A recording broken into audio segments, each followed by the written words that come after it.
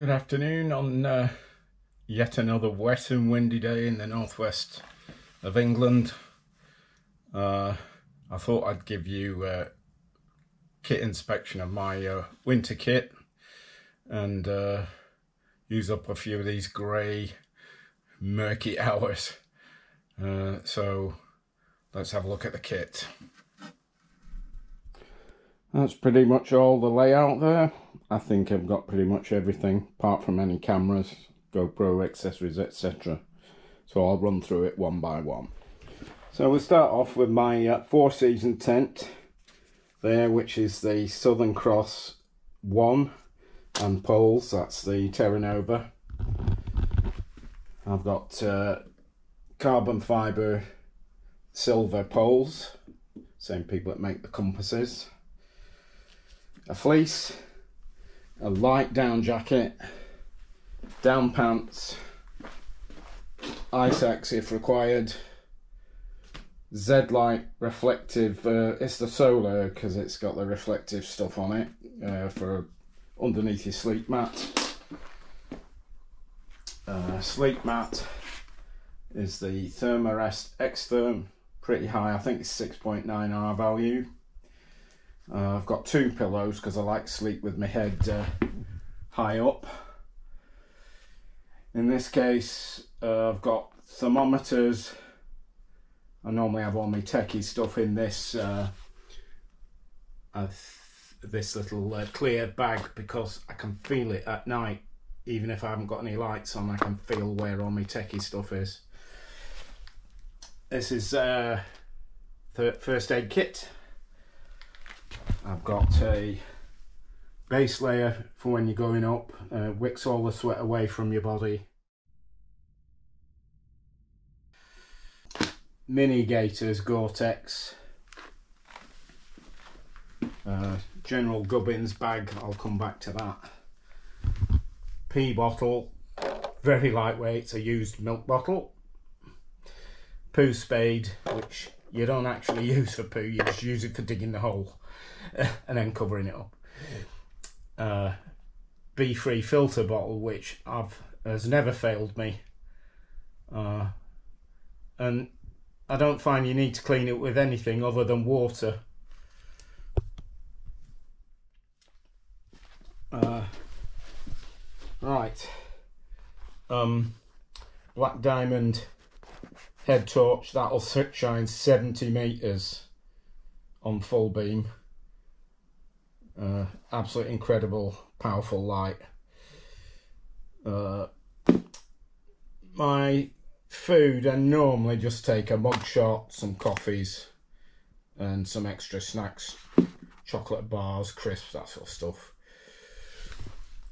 On the stove front, I've got the Soto Windmaster, absolutely ultra reliable, lightweight, and as it says on the tin, it's very good in the wind. I've never used it with a, any shield.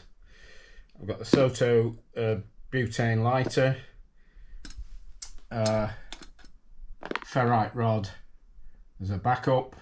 The stove itself's got an igniter, so it's basically embalm, cremate, bury, as Winston Churchill said. Take no chances.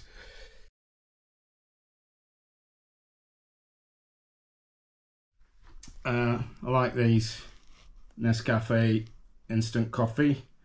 That mocha one's really good. Alpkit titanium uh, cup and uh, a spoon. Uh,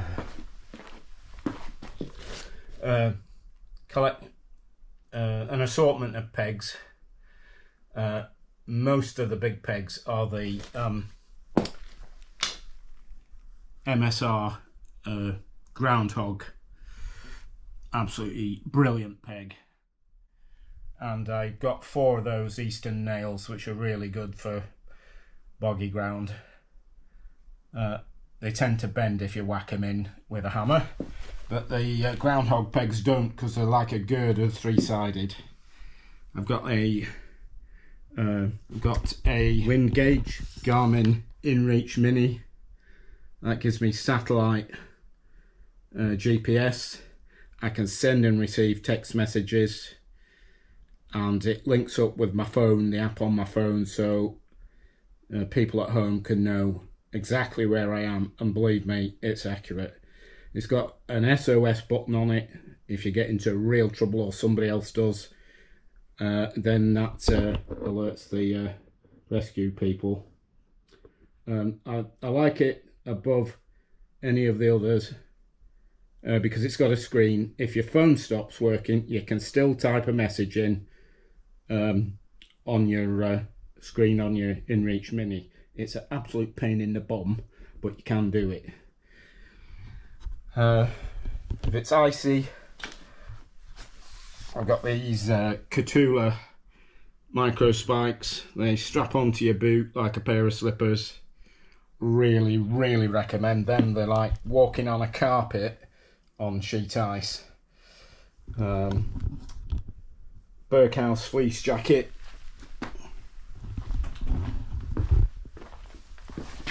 Um, Atom Packs Atom.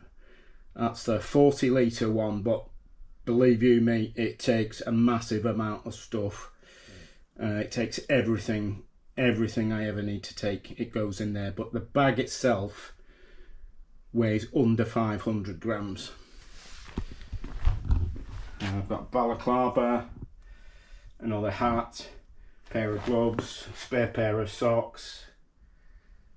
Uh, right, let's go over here. Uh, a full fill uh, down jacket by Alpkit. Normally I have two of these Exped uh, Schnozzel bags. This is a big one, huge. I usually put my sleeping bag on that and it sucks all the air out and then compresses everything.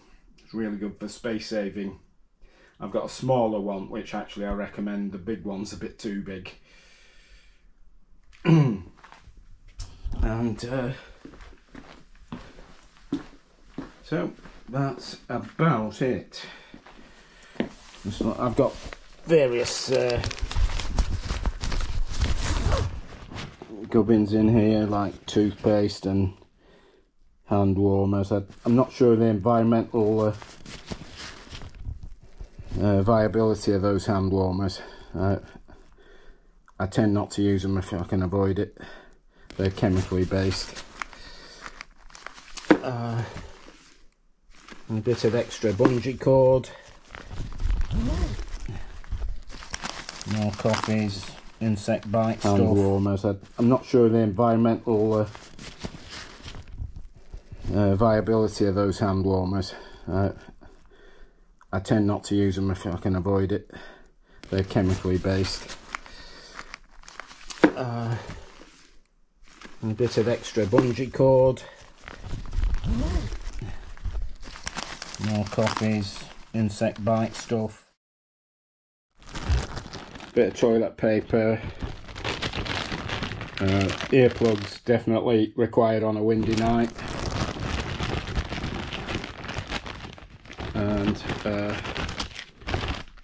for the summer, you probably don't need them in the winter, but I've got these tick removal tools which you uh, lift with a little scoop and then twist and pull them out.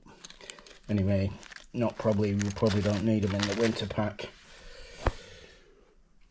So I think that's about winter it. gear spec um, video, and hopefully I can get out before too long. It's quite warm at the moment, but uh, it's horrible, windy and wet, which isn't good camping or mountaineering weather as far as I'm concerned. So, have a good one. Like and subscribe on Uncle Pete's Wild Adventures, and I'll see you on the next one as soon as possible on the hills.